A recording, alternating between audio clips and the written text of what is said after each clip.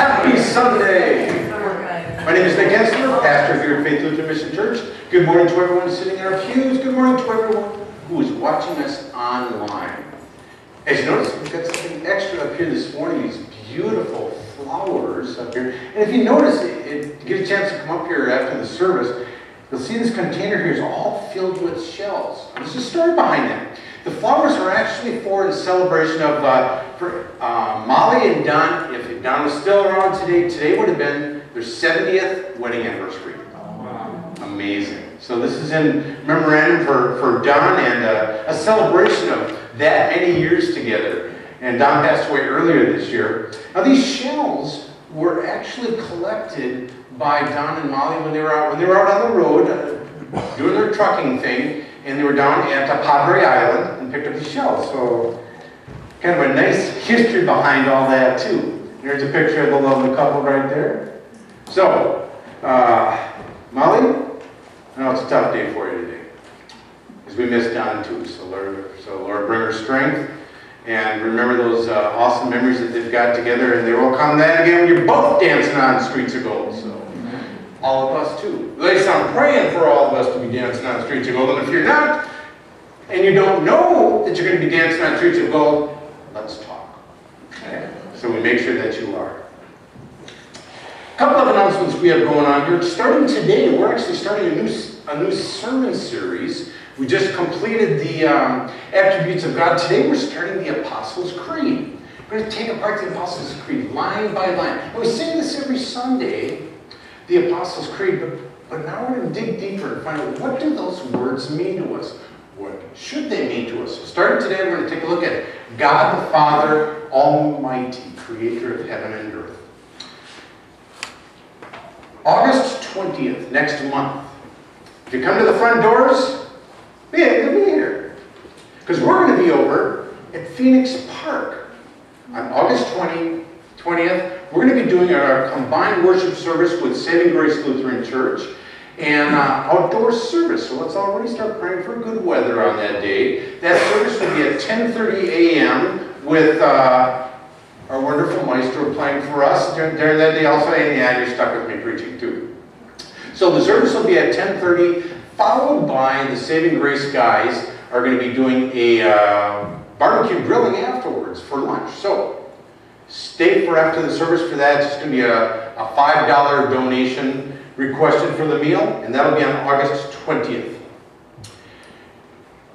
September, now we're moving along, right along here. August 8th, which is a Tuesday, we're going to be having the floor downstairs in the fellowship area and the carpet up here clean.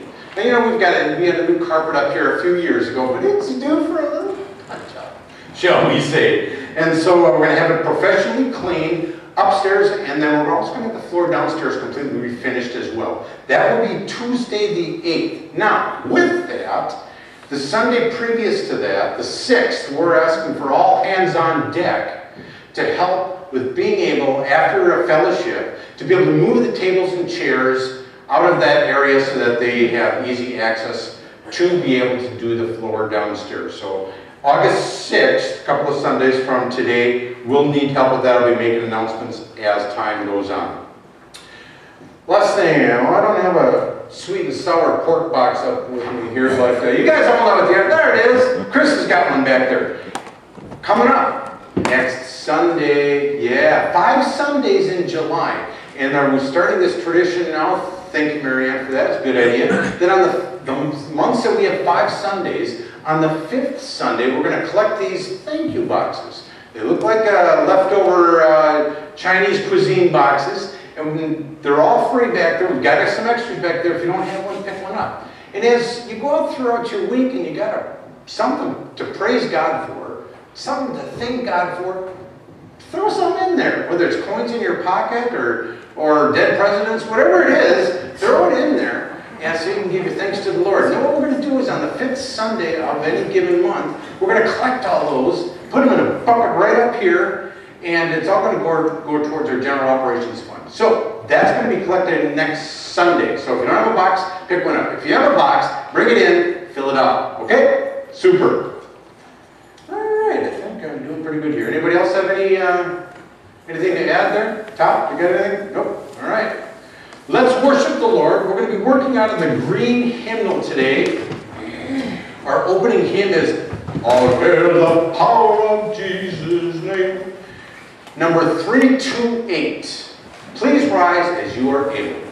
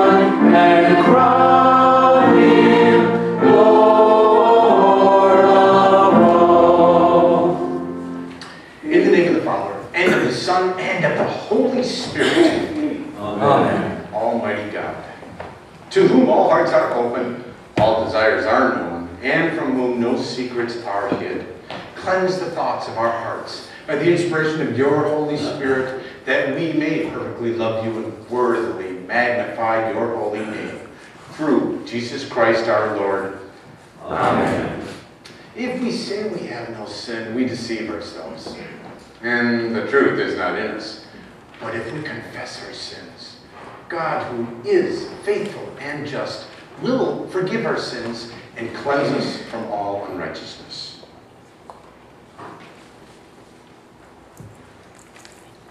Most merciful God, we confess that we are in bondage to sin and cannot free ourselves. We have sinned against you in thought, word, and deed, by what we have done and what we have left undone. We have not loved you with our whole heart. We have not loved our neighbors as ourselves. For the sake of your Son, Jesus Christ, have mercy on us. Forgive us, renew us, and lead us, so that we may delight in your will and walk in your ways to the glory of your holy name. Amen. Almighty God, in his mercy, has given his Son to die for us, and for his sake forgives us all of our sins. As a called and ordained minister of Lutheran Congregations of Mission for Christ, and by God's authority, I therefore declare to you the entire forgiveness of all of your sins. In the name of the Father, and of the Son, and of the Holy Spirit. Amen. Please be seated.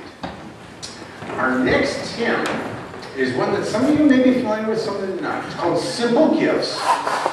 Actually, it's an old Quaker hymn from way back in the late 19th century. Just going to be, pardon? Shaker. Shaker. What did I say? Quaker. Quaker? You're right, it is it. Love you, Mark. Thanks, brother. Yeah, I know there's a reason God planned to do right there at this time today. Love this guy. Yes, old shaker here. So, it's going to be just the one verse, and we're going to sing it twice. You, you got the music? Just play it off our phone again. I love it. This is awesome.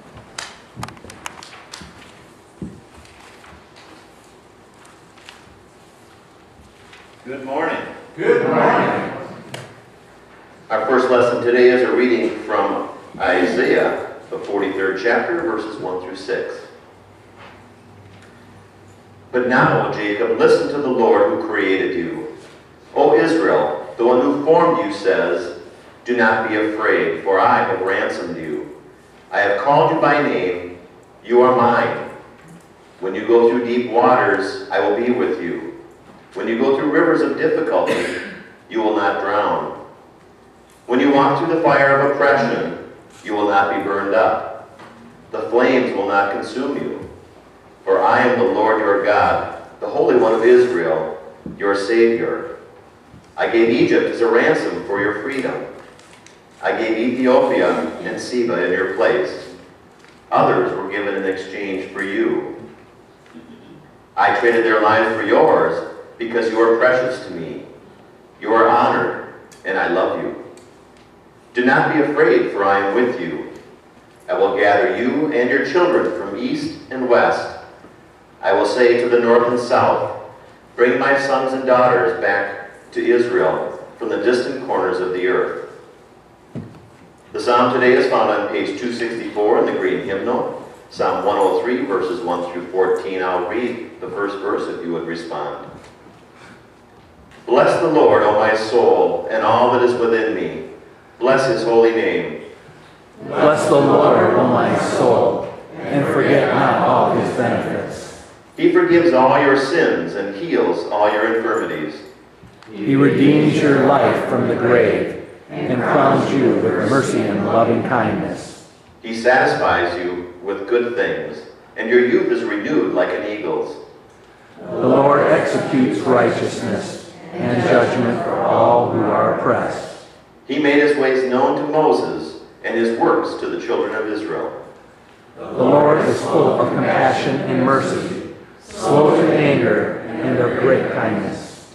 He will not always accuse us, nor will he keep his anger forever. He has not dealt with us according to our sins, nor rewarded us according to our wickedness. For as the heavens are high above the earth, so is his mercy great upon those who fear him. As far as the east is from the west, so far as he removed our sins from us. As a father cares for his children, so does the Lord care for those who fear him. For he himself knows whereof we are made. He remembers that we are but dust. The second lesson today comes from the 11th chapter of Hebrews, verses 1 through 3. Faith is the confidence that what we hope for will actually happen. It gives us assurance about things we cannot see. Through their faith, the people in days of old earned a good reputation.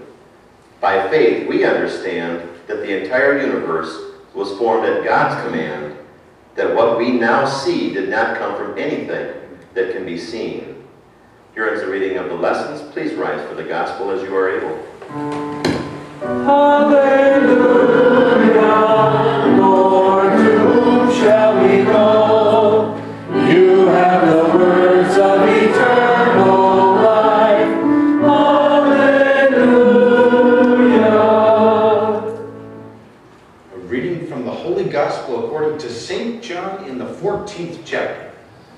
Glory to you, O Lord. starting in verse 6. Jesus told him, I am the way, the truth, and the life. No one can come to the Father except through me. If you had really known me, you would know who my Father is. From now on, you do know him and have seen him. Philip said, Lord, show us the Father, and we will be satisfied. Jesus replied, Have I been with you all this time, Philip, and yet you still don't know who I am? Anyone who has seen me has seen the Father. So why are you asking me to show him to you? Don't you believe that I am in the Father, and the Father is in me? The words I speak are not my own, but my Father who lives in me does his work through me. Just believe that I am in the Father and the Father is in me. Or at least believe because of the work you have seen me do. This is the gospel of the Lord. Praise to you, O Christ. Please be seated. Some time ago, I read a bumper sticker which said, Keep the faith, printed in bold black letters. However, underneath was another line in smaller print that said, If you have any left. We live in a very cynical and skeptical world. And many people are unsure of exactly what they are supposed to believe. And in the midst of life's uncertainties and trials, it's important that you do know what you believe. Because it is what you believe which ultimately determines your attitude towards life and also how you live your life. Now, the first thing that's important to know about faith in God is that faith must be specific. A few years back, a couple talked to me about having their baby baptized. And they were being pressured by the family to do it. However, they weren't sure they themselves believed all the things that the church taught. They said that they just wanted to teach their child that uh, God was everywhere and in everything. And that God was in the birds and the trees and the stones and the rocks and everything else. I explained that what they were talking about was actually pantheism and wasn't really compatible with the Christian faith. Now, they were offended by this truth, and so they decided to not have their child baptized because they prefer just a general idea of God rather than a specific one.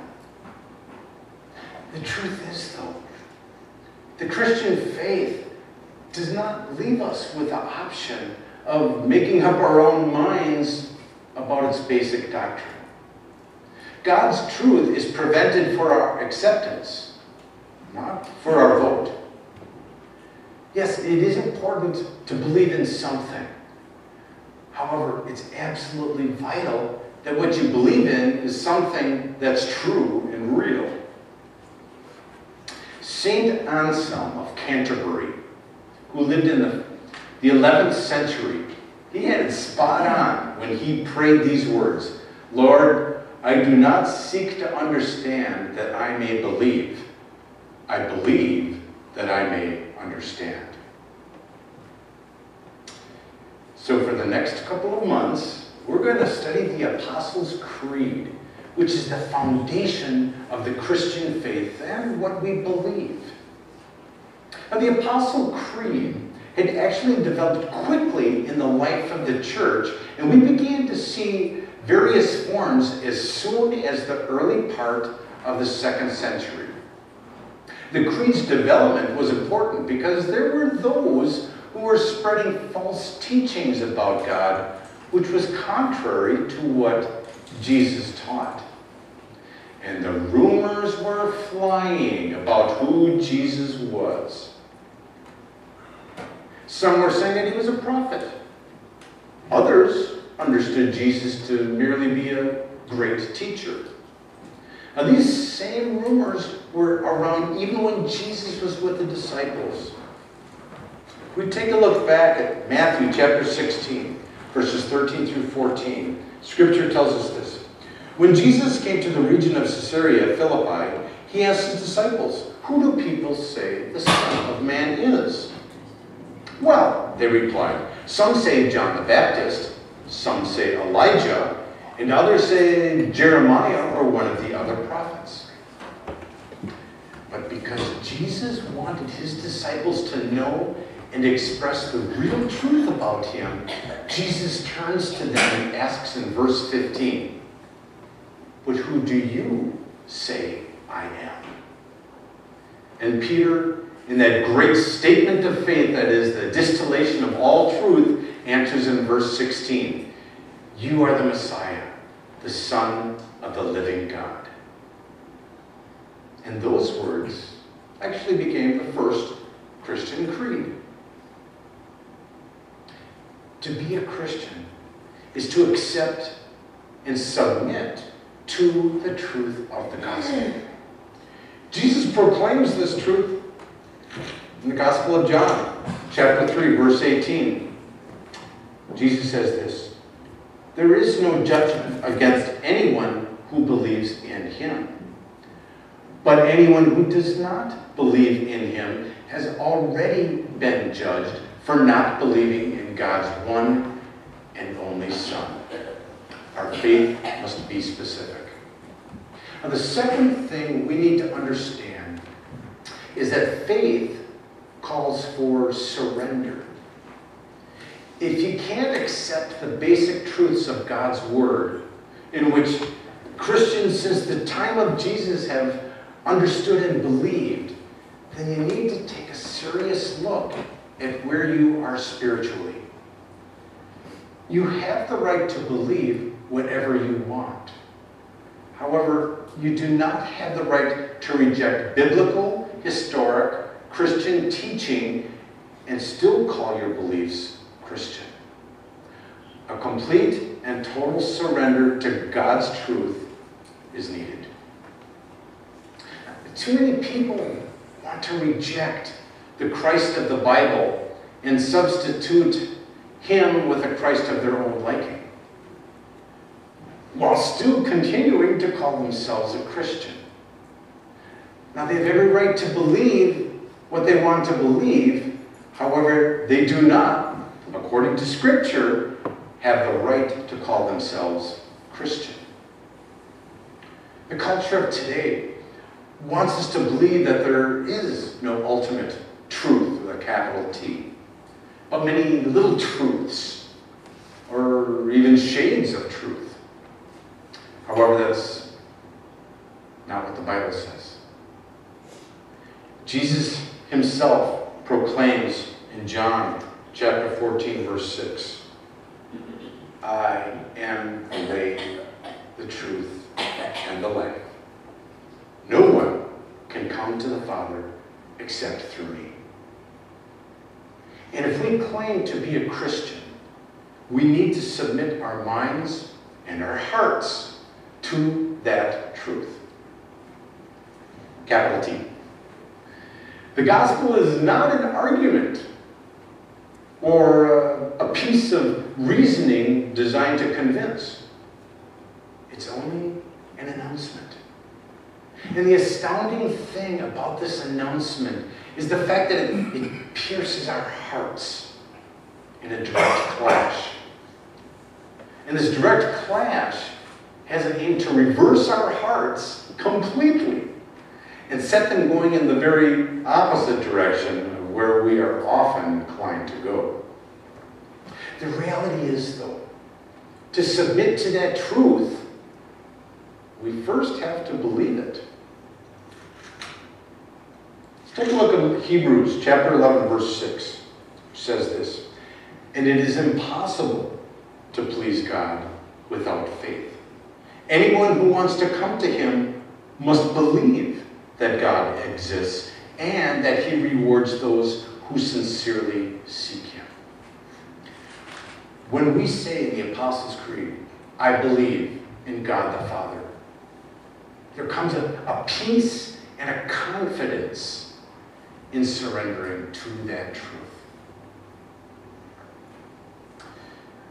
I walked into the night not long ago and I looked up into the heavens and found myself praying these words God, forgive us.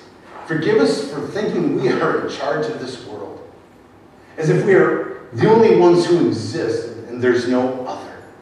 Forgive us for thinking we are moving and changing the world and that you have nothing to say and nothing to do about it. Forgive us, Lord, for deluding ourselves, for refusing to, to believe that there is no higher form of life other than ourselves. Forgive our foolishness and forgive our pride. Folks, we don't need faith for God's sake. Faith is needed for our sake. And there's so many who do not believe because they don't understand. They feel that if it doesn't make sense to them, then it just cannot be. And, and that's the height of what it means to be egocentric. The belief is, is much like the, uh, envision this one, a small boy. He was seen digging a hole along the beach, just a small hole along the beach, and there was a trench running from the sea to that little hole in the sand. Someone asked him what he was doing, and he said, I'm draining the ocean. Trying to under, understand everything before we believe anything just doesn't work. It's like thinking we can make a, a little trench from heaven directly to us, and we can drain heaven's ocean dry with all the knowledge of God. And that uh, we have enough pride to think that it can all fit into our little lines. The truth is, we just can't possibly understand it all. The Bible confirms this. Second book of Corinthians, chapter 5, verse 7. For we live by believing and not by seeing. Folks, faith comes before understanding, not after understanding. Faith is accepting and believing what God has revealed about himself in the scriptures. Because we know we can't understand everything about who God is and all that he does. So this brings us to the third important fact to understand about faith, and that is that the faith must be sufficient. A big God calls for a big faith. You can't have a little faith or a partial faith. It must be a complete faith. You can't choose to believe some things and, and not others. It's all or nothing in God's Word. Listen to these words from Hebrews chapter 11, verses 1 through 3, which we just heard from a few moments ago. Faith is the confidence that what we hope for will actually happen. It gives us assurance about things we cannot see. Through their faith, the people in days of old earned a good reputation. By faith, we understand that the entire universe was formed at God's command. That what we now see did not come from anything that can be seen. Saying that we do not believe in God is like walking up to Mount Everest and shouting at the mountain that we no longer believe it exists. We can shout all we please, and for as long as we like. However, the mountain will live on, live on long after we and our doubts are gone. God also will continue to exist whether or not we believe in Him. Our denials will not affect God so much as they will affect us. Our lack of faith will not affect God's existence one iota. However, it most certainly will affect our existence, both in this world and in the world to come. Now, I want you to understand that this doesn't mean you're never going to have any questions. We will always have questions. And there always will be some things we don't understand. However, the Apostles' Creed says that He is God, the Father Almighty. And so often, when we understand and believe in the bigness of God, the bigness of the Father Almighty, creator of heaven and earth, when we believe in that and keep that in our heads and our hearts, so many of our questions become already answered. In the book of Acts, chapter 17, Scripture tells us that the Apostle Paul went to Greece to preach the gospel of Jesus Christ. When he arrives in Athens, he saw a pagan altar, and underneath were the words, to an unknown God. Seeing the altar, Paul said them, to them in verses 23 through 28, For as I was walking along, I saw your many shrines, and one of your altars had this inscription on it, To an unknown God. This God, whom you worship without knowing, is the one I'm telling you about. He is the God who made the world everything in it. Since he is Lord of heaven and earth, he doesn't live in man-made temples, and human hands can't serve his needs, for he has no needs. He gives, he himself gives life and breath to everything, and he satisfies every need. From one man he created all the nations throughout the whole earth. He decided beforehand when they should rise and fall, and he determined their boundaries. His purpose was for the nations to seek after God and perhaps feel their way toward him and find him, though he is not far from any one of us. For in him we live and move and exist. You see, folks, there's not only a God, but he truly is almighty. And he is powerful enough to create all things that now exist. Our faith must be sufficient. Now, the fourth truth that we need to understand about faith is that faith must be personal. The faith that you have is a very personal faith. And because it is a personal faith, it must be a faith in a personal God.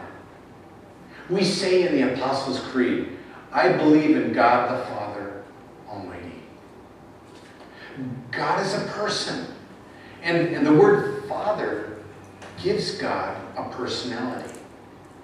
So he is not only a God who is absolutely holy and powerful, he is also a God who loves you and can be approached God is not just the, the man upstairs. He is more than just a mind behind the universe and the laws of nature. God is so much more than some kind of ultimate being or, or supernatural force. We say, I believe in God, the Father. He is a fatherly God who desires a relationship with us. What a privilege this is for us. We not only believe in a God Almighty, but we can believe in a God who is our Father. We can actually know Him. God can be intimate to each and be real to each one of us. So to say that God the Father Almighty is just a mind and power behind our universe and just an impersonal force whose only interest is to keep the machinery of nature in operation is as absurd as believing that God doesn't exist at all. God is so much more than just an impersonal intelligence. He is irresistible joy. He is rapturous beauty. He is and has an eternal and inexhaustible love. And he comes to us and opens himself to us for fellowship. That is the God, the Father Almighty, that every Christian should believe in. And God's personality is expressed in his creation.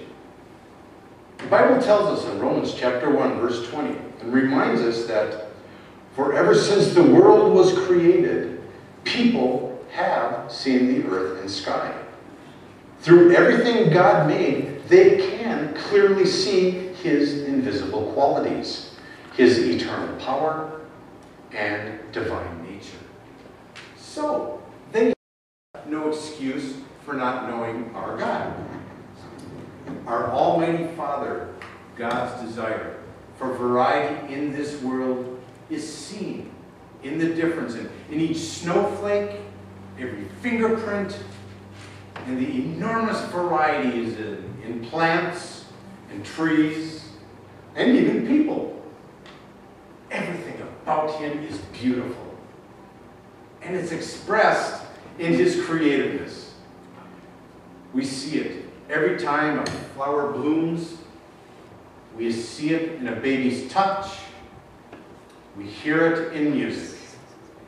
And we smell it in the spring and summer air. Everything God does is good and beautiful. Mighty as He is and, and insignificant as we are, God has shown His love for us and expresses His desire to know us. And so, all we can do is lay at His feet, subdued by His strength, awed by His almighty majesty, and won by His love. So here's a question for you.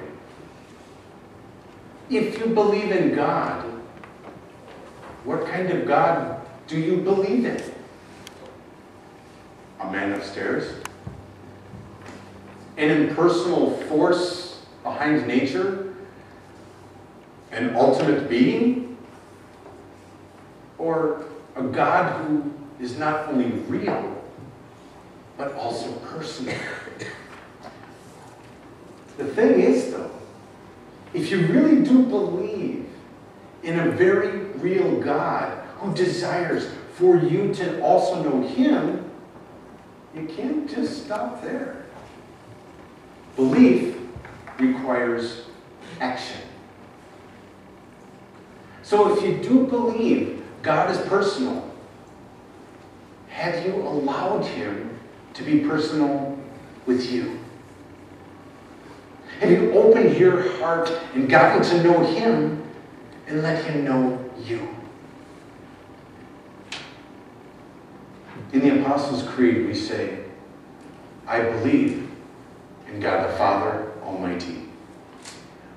Folks, when you say these words, know and believe that you have an Almighty Father God who loves you and wants to be with you and help you through whatever you are experiencing in your life.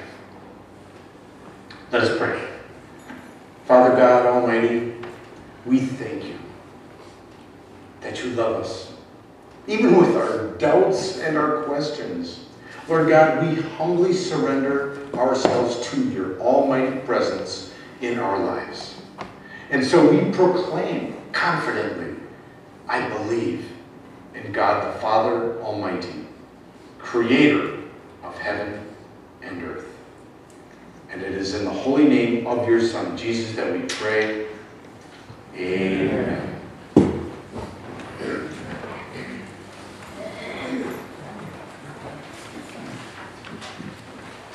next hymn is uh, a classic. I bring up the old classic uh, doxology, as it's known as. Praise to the Lord the Almighty. Short one, but a good one. Still in the green hymnal yet, number 543.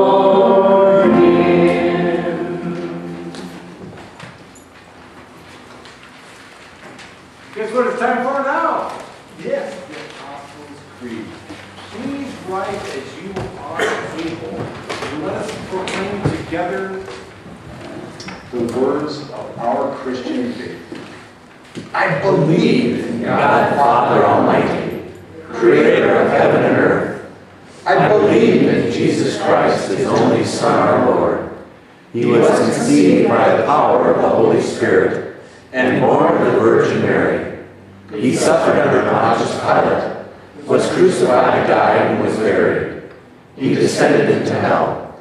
On the third day he rose again. He ascended into heaven and is seated at the right hand of the Father. He will come again to judge the living and the dead. I believe in the Holy Spirit, the holy Christian church, the communion of saints, the forgiveness of sins, the resurrection of the body, life everlasting. Amen. Let us pray for the whole people of God in Christ Jesus and for all people according to their needs. Lord God, we are a church of faith. It's in our name. And Lord, part of that faith is in you as, as Father God Almighty, creator of heaven and earth. Lord, we stand by that. We stand by everything in the scripture as a church, Lord. Help us as we go out those front doors in our mission field, Lord, to proclaim that truth, that your Son Jesus is the way, the truth, and the life, and the only way to you is through him. Lord, in your mercy, Hear our prayer. Lord God, we thank, thank you. One of the many attributes of you, Father God, is as your Jehovah Rapha, the healing God. Lord, you've healed so many people here in this congregation today, Lord. And we thank you and give you the glory for that. Lord, there's many people on our hearts and minds at this time that are, are still in need of that healing touch to come down. Lord, come, send your Jehovah Rapha down now to all those people who are on our hearts and minds.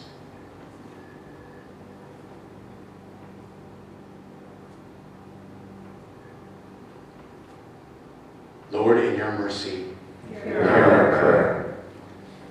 Lord, we pray for healing of this nation, Lord. We've turned away from you, Lord. And we're going to we're going to come back. We're going to come back to being one nation under God. We're going to come back to trusting in you, in God that we trust. Lord, as a congregation, we promise to pray for this nation. We promise to pray for the nation's leaders, Lord, that they make decisions according to your will, not their own agenda. Lord, we pray for your strength. We pray for your guidance and discernment to touch us touch this nation. Lord, in your mercy. Hear our prayer. Father God, we pray for all those soldiers that are fighting far from their homes and friends and family, fighting for those freedoms that we enjoy here as a nation. Lord, protect them. Keep them safe. Lord, surround them with people who can bring them the truth of, of your gospel and your son Jesus to touch them and let them know where their, their eternal hope lies. Lord, bring them home safe. Reunite them with their families. And, and Lord, help us as a nation to stand by them as they stood by for us. Lord, in your mercy. Hear our prayer. Lord God, we pray for all those law enforcement personnel, fire department personnel, ambulance, first responders, even emergency room personnel, Lord, who are out there serving us. Lord, protect them. Keep them safe, Lord. Help us as a community to, to support them as they serve us. Lord, in your mercy, Hear our prayer. Lord, we pray for all those missionaries that we support individually and as a congregation. Lord, they're, they're soldiers themselves, fighting on the front lines for your gospel. protect them, Lord. Protect their health, Lord, health of their families. Protect them from any kind of human evil and evil of Satan. And Lord, please provide them with the resources that they need to do those ministries you've called them to. Lord, in your mercy. Hear. If there's anyone who has any prayers that they'd like to make at this time, please go ahead and say them. Lord, we know that we have prayed for your healing, but we bring before you the name of Betty and Vern Veneer. We ask that you give them strength and courage for whatever the problem may be, small or large. We ask that your love will overshadow them Yes, Lord. and keep them always in your presence. Lord, in your mercy, Hear our prayer. Lord, I want to pray for Georgia Terry this morning as they're with the family. Um, I pray that you'll um, just really bless this visit with family and, and that it will be a time of refreshment and nourishment for all of them. And I pray that you'll bring them back safely and each and all who are traveling um, somewhere today. And I want to just thank you for my mom, Father, and um, just that I can be here to celebrate her life today with her and, and as we gather together as a family today, that um, we will remember good times. And I just thank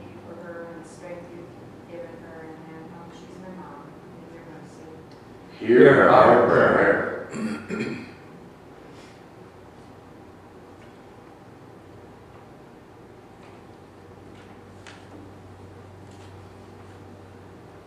Into your hands, O Lord, we commit all for whom we pray.